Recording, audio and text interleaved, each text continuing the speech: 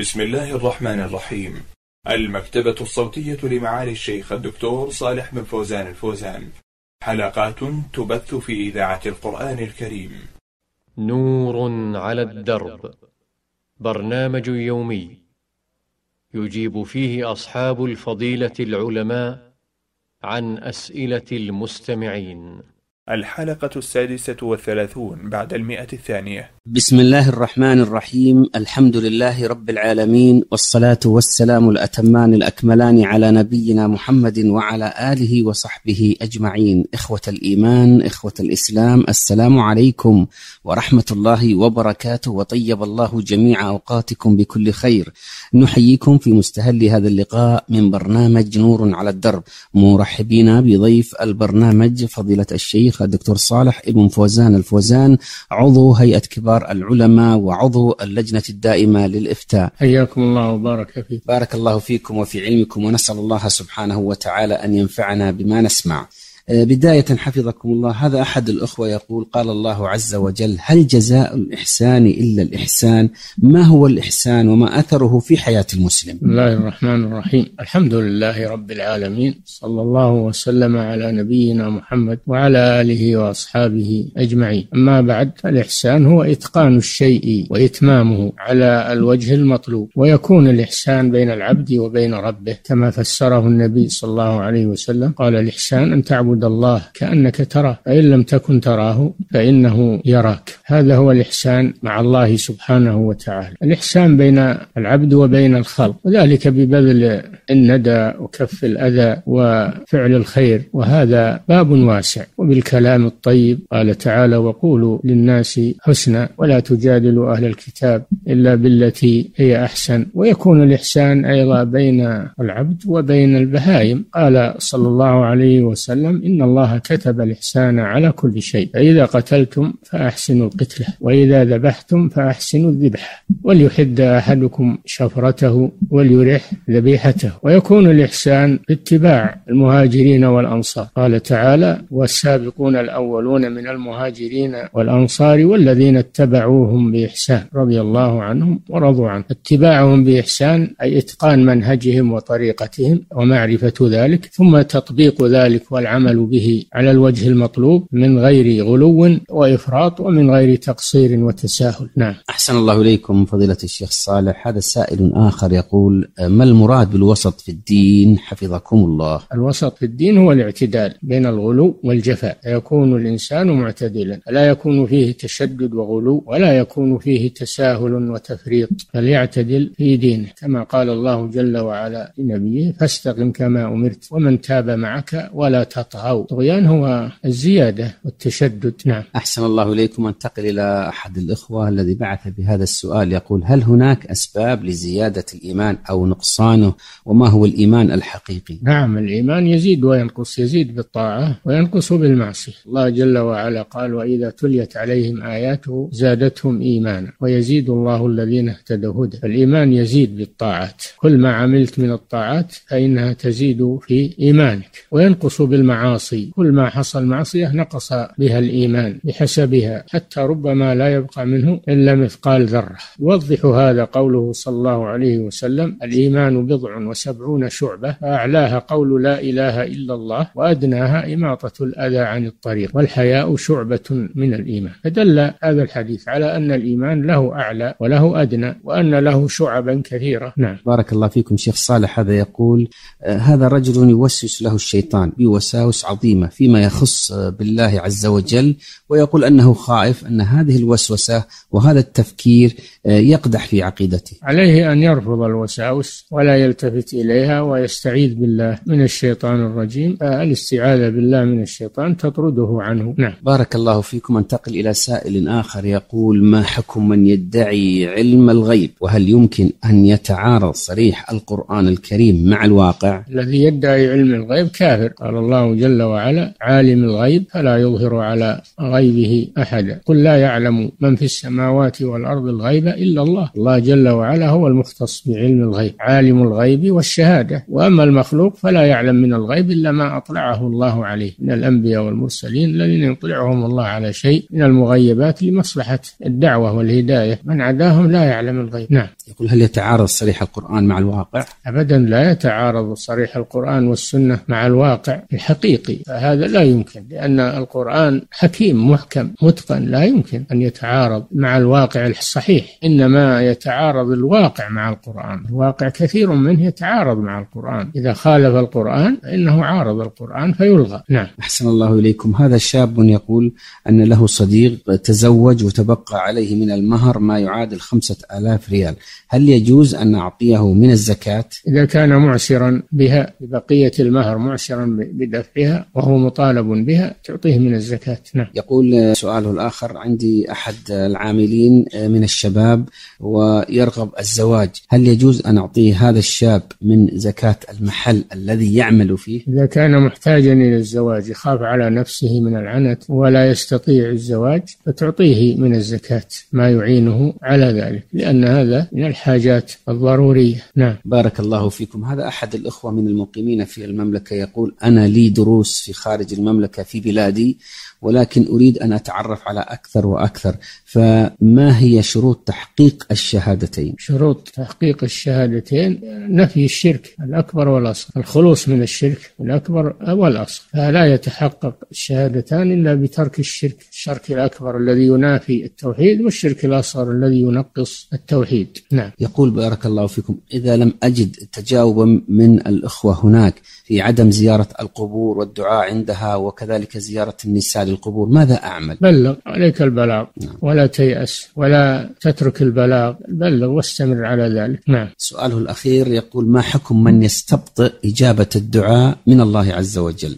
نهى عنه الرسول صلى الله عليه وسلم. لا يقول أحدكم دعوت ودعوت فلم يستجب لي. يدعو يكل الأمر إلى الله والله أعلم بمصالحه لتعجيل الإجابة أو تأخير الإجابة. وقد يكون عدم الإجابة بسبب من العبد. وذلك أن يدعو بإثم أو قطيعة رحم أو يأكل من الحرام ويدعو لا يستجاب له دعاء. من تغذى بالحرام أو لبس الحرام فإنه لا يستجاب دعاؤه كما في الحديث. نعم. أحسن الله إليكم فضيلة الشيخ صالح. هذا السائل يقول هناك جدل حول رؤية الله تعالى في يوم القيامة فما هو القول الصحيح في ذلك؟ القول الحق في هذا ثبوت أن المؤمنين يرون ربهم عيانا بأبصارهم يوم القيامة كما يرون القمر ليلة البدر وكما يرون الشمس صحوا ليس دونها سحاب كما قال تعالى للذين أحسنوا الحسنى وزيادة. الزيادة هي رؤية الله عز وجل. قال تعالى وجوه يومئذ ناظرة إلى ربها ناظرة تنظر إلى الله عز وجل وفيها نظارة وحسن وبهاء. هذه وجوه أهل الجنة هم يرون ربهم. وهذا متواتر. الكتاب والسنة. من أنكره كفر. نعم. أحسن الله إليكم. هذا يقول ما صحة من يقول إن الله في كل مكان وأنه في قلب العبد المؤمن. هذا حلول والعياذ بالله. لا ينزه الله عن المواطن القذرة والبقاع النجسة. الله جل وعلا في السماء فوق العرش في جهة العلو. من لم يعتقد هذا فهو كافر قال إن الله في كل مكان أو ينفي عن الله العلو على عرشه. هذا مكذب للقرآن والسنة وإجماع المسلمين. وهذا يسمى بالحلول. إن الله حال في كل مكان. نعم. أحسن الله إليكم. هذا بعث بهذه بهذا هذا السؤال يقول يقول الله عز وجل يوصيكم الله في أولادكم للذكر مثل حظ الأنثيين. هل هذا يشمل أيضا العطية والهبة؟ نعم الأولاد إذا أعطيتهم فسوي بينهم تعطي الذكر مثل حظ الأنثيين ولا تحرم بعضهم وتعطي البعض الآخر. قال صلى الله عليه وسلم اتقوا الله واعدلوا بين أولادكم. نعم. يقول ما حكم أيضا آه، حرمان المرأة من الميراث؟ هذا حرام ولا يجوز ظلم هذا ظلم للمرأة وهذا فعل الجاهلية. أهل الجاهلية كانوا يمنعون المرأة من الميراث والطفل الصغير. الله جل وعلا أعطاهم حظهم من الميراث. للرجال نصيب مما ترك الوالدان والأقربون وللنساء نصيب مما ترك الوالدان والأقربون. مما قل منه أو كثر نصيبا مفروضا. الله جعل للنساء نصيبا من الميراث وجعل للأطفال والصغار نصيبا من الميراث. يوصيكم الله في أولادكم للذكر مثل حظ الأنثيين. وجعل للإخوة والأخوات نصيبا من الميراث. قال تعالى وإن كانوا إخوة رجالا ونساء فللذكر مثل حظ الأنثيين. وللوالدين أيضا نصيب من الميراث الأب والأم كل له نصيب من الميراث مقدر إما فرض وإما تعصيب. نعم. أحسن الله إليكم. هذا أحد الإخوة بعث إلى البرنامج بهذا السؤال. يقول قال الله عز وجل وإن تبدوا ما في أنفسكم أو تخفوه يحاسبكم به الله.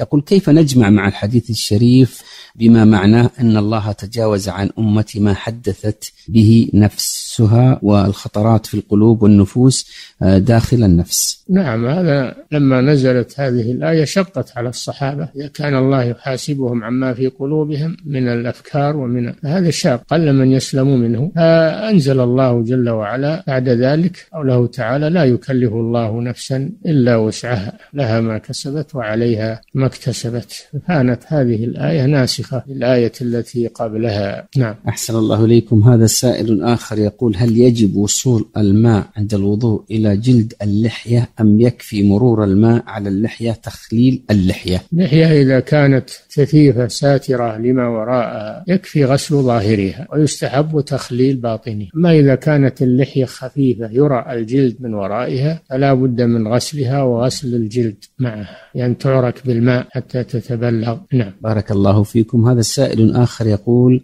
ما هي الأمور التي يفعلها الإنسان إذا ولد له مولود؟ وهل الأولاد فتنة في الحياة؟ إذا ولد له مولود يحمد الله جل وعلا على ذلك ويبادر بالتماس الاسم الحسن له يسميه باسم حسن ويذبح عنه العقيقة للذكر شاتان وللأنثى شاة واحدة ثم إذا بلغ سن التمييز يربيه على العبادة والطاعة مروا أولادكم بالصلاة لسبع وضربوهم عليها لعشر فرقوا بينهم في المضاجع. فيربيه ويؤدبه ويحسن تربيته وتأديبه على الدين والخير والمروءة والأخلاق الحسنة. هذا واجب الأولاد على والديهم. نعم. أحسن الله إليكم. آه هذا السائل يقول آه قال الله عز وجل وابتغوا إليه الوسيلة.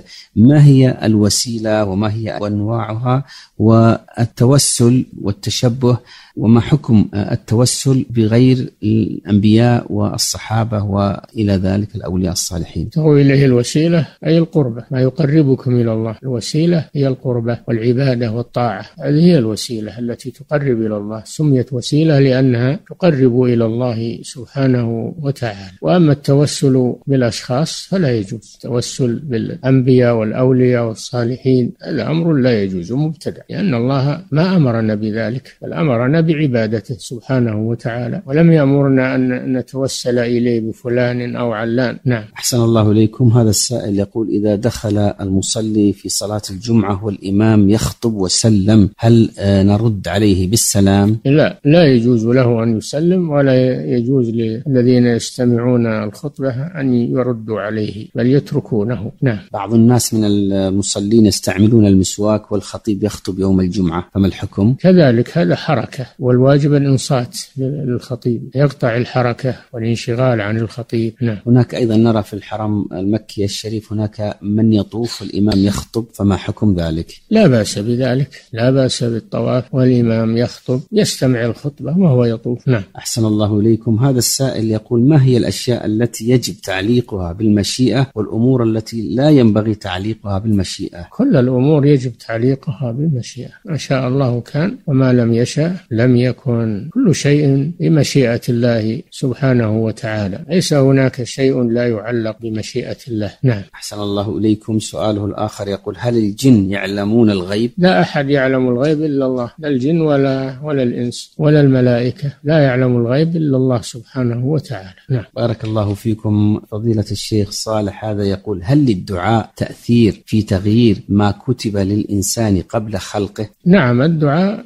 يعالج به القدر يعالج به القدر وهو من القدر فيعالج القدر بالقدر. الذي قدر القدر أمرنا بالدعاء ووعدنا أن يستجيب لنا هو من قدر الله سبحانه وتعالى. نعم. أحسن الله إليكم. إذا كان القدر سابقا آه، فما العمل؟ القدر من شأن الله عز وجل والعمل من شأنك أنت. وأنت عندك قدرة على العمل واختيار وإرادة ومتمكن من العمل. فاعمل ما يختص بك. قال صلى الله عليه وسلم اعملوا فكل ميسر لما خلق له. نعم. وهل هناك فرق بين القضاء والقدر؟ لا فرق بينهما القضاء والقدر بمعنى واحد نعم. أحسن الله إليكم. آه، يقول السائل ما حكم التوفيق بين الزوجين بالسحر بعد أن استعصت كل الحلول؟ أعوذ بالله من الشيطان الرجيم. لا يجوز استعمال السحر في أي وجه من الوجوه لأنه كفر لأنه كفر بالله عز وجل. فلا يجوز تعاطي السحر ولا التداوي به ولا فعله لأجل الجمع بين الزوجين. كله ممنوع. تعلمون منهما ما يفرقون به بين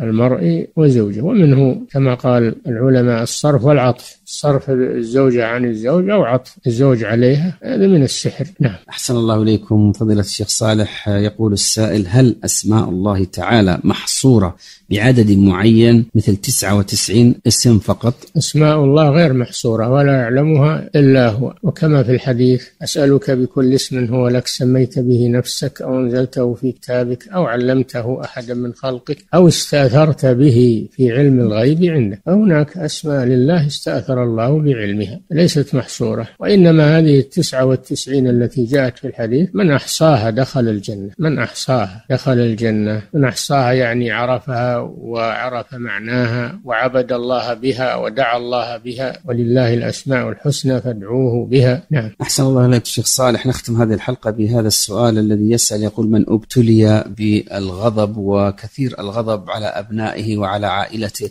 ماذا يعمل؟ بارك الله فيكم. يعمل أمره الله به. وإما ينزغنك من الشيطان نزغ فاستعذ بالله إنه هو السميع العليم. فيعالجه بالاستعاذة بالله عز وجل. تجادل رجلان أو تخاصم رجلان. حضرة النبي صلى الله عليه وسلم غضب أحدهما على الآخر. اشتد غضبه. قال صلى الله عليه وسلم إني لأعلم كلمة لو قالها لذهب عنه ما يجد. أعوذ بالله من الشيطان الرجيم. فذهبوا إلى الرجل الغضبان وقالوا له كلام الرسول صلى الله عليه وسلم فقال أعوذ بالله من الشيطان الرجيم فذهب عنه الغضب. نعم. أحسن الله إليكم. هل الطلاق يقع من الغاضب؟ الطلاق هذا يرجع فيه إلى المحكمة الشرعية. نعم. بارك الله فيكم وفي علمكم ونسأل الله سبحانه وتعالى أن ينفعنا جميعا بما سمعنا. أيها الإخوة والأخوات إلى هنا ونأتي إلى ختام هذه الحلقة من برنامج نور على الدرب. وقد أجاب عن أسئلتكم فضيلة الشيخ دكتور صالح بن فوزان الفوزان عضو هيئة كبار العلماء وعضو اللجنة الدائمة للإفتاء. جزا الله الشيخ صالح خير الجزاء ونفعنا جميعا بما سمعنا. وجعلنا الله وإياكم من الذين يستمعون القول فيتبعون أحسنه. في الختام هذه تحية من الزميل عثمان بن عبد الكريم الجويبر والسلام عليكم ورحمة الله وبركاته.